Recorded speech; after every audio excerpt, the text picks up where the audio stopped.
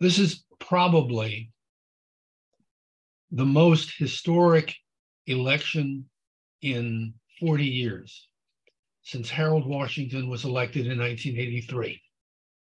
And there are three reasons for that. One reason is that the city of Chicago is again in crisis. It's in crisis because thousands of people are out in the street homeless, because thousands of people are unable to get food that they need, because thousands of people are unable to get the health care that they need, because thousands of people are unable to get the education that they need, because thousands of people are unable to survive or thrive in the way that people in the richest country in the world ought to be able to thrive. That's the situation that faces the people of Chicago today. And that's what is forcing its way into the electoral campaigns, regardless of, of whether the candidates themselves are on one side or another of these, of these major issues. So that's point number one. Point number two is that one third of the city council seats are up for reelection without an incumbent. That means that so many of the incumbents have retired for various reasons. A couple of them are running for mayor, but a number of them are under indictment for corruption. City of Chicago is known for that.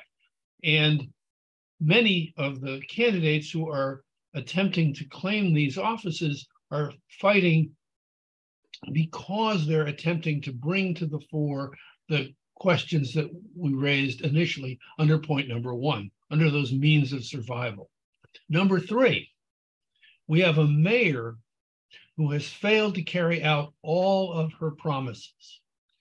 One of those promises, one of the most important promises or most immediate promises was to resolve the problem of housing by a retail transfer tax, a resale transfer tax, sorry, in which the uh, the some of the highest um, cost housing, highest cost office developments that were sold in the city of Chicago, a portion of that money would be taxed and turned over to, to house the homeless. That has never happened.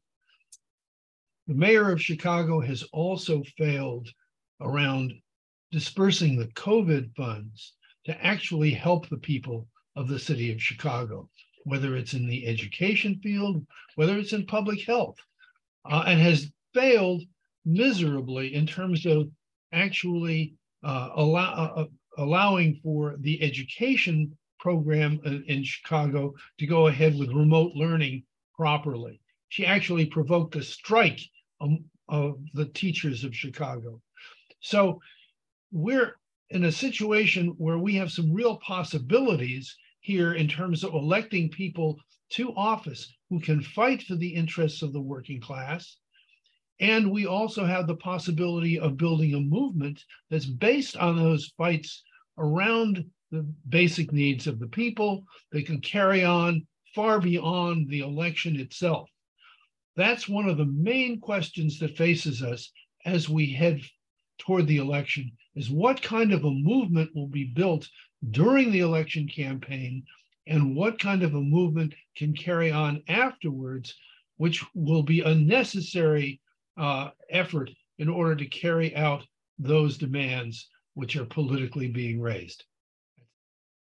All of this is why you should attend this event on February 9th, because it is at that point when people will be coming together, revolutionaries like yourselves will be coming together to talk about not only what kind of a movement we can build within the election campaign, but how do revolutionaries work within elections and what kind of a movement will exist afterwards. We need that kind of discussion. We need that kind of strategy because we need that kind of action.